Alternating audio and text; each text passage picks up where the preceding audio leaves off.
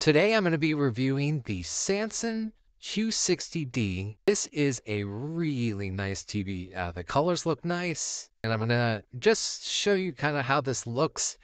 This is the this is how it looks on their little uh, retail store, and so I don't know how much it's going to uh, come through here, uh, but it just looks so nice. You're not going to get the same feel that I'm getting here, uh, but it's such a nice looking TV.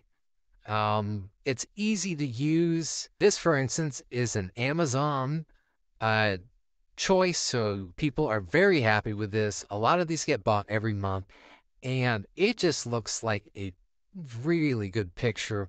You can go in and, and set these things, set the picture the way you want it. Uh, but I am super impressed. Uh, blacks are pretty good. I know the uh, the QLEDs are have gotten better than the OLEDs. Uh, so these still these hold up really well. So if you're, I mean, if you're looking for a good TV, especially for Super Bowl, this, this is 65 inches. This is in my main room. It's really a uh, good uh, TV. I, I think you'll enjoy it. I hope this review helps, and I'll see you next time.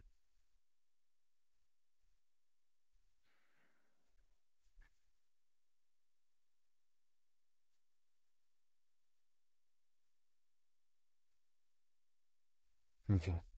I had to film extra because